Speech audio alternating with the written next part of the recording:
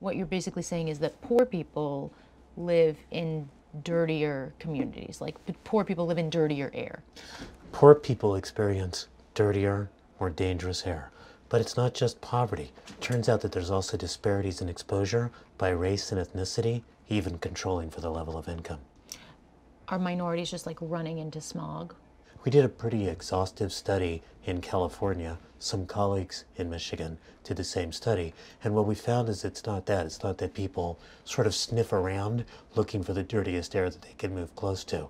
In fact, these facilities and freeways tend to be placed in these communities of color when the communities are already there. And so it's really a question of siting and not a question of moving. It turns out that 63% of Latinos think that climate change is a very serious issue in California. Only 43% of whites think climate change is a very serious issue. So a lot of times when we imagine the people who are concerned about the climate, the picture is sort of a, you know, tall white guy with a beard uh, munching granola and wearing spandex before he gets on his bicycle to roll forward. It turns out that the person that's the most concerned about climate change are the families living near the refineries, breathing the dirty air, experiencing the front lines of climate change.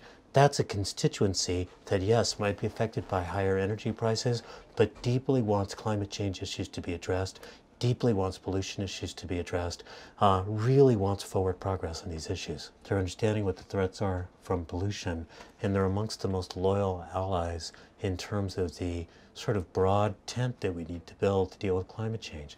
It's got to be a broad tent that includes these emerging communities of color, that includes the traditional environmental movement, that includes the public sector and what they can do, and that includes the innovative uh, business folks who can actually respond and develop the new technologies and lead the way to what we need to do to have a healthier California.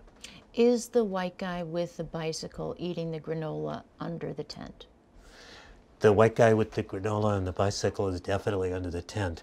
The point I'm making is that sometimes he doesn't necessarily realize who's under the tent with him, or could be. What I've basically learned here is that it's pretty much the responsibility of just that one tree hugger with that bicycle, right? Well, I'm afraid that maybe I didn't quite impart the lesson correctly.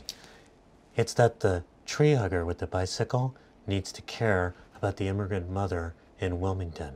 It's that the business person starting a successful enterprise in the Bay Area needs to worry about the farm worker in Fresno who's not doing well. It's that we need to care deeply about each other, an older generation, about a younger generation, in order to have a strong California moving forward.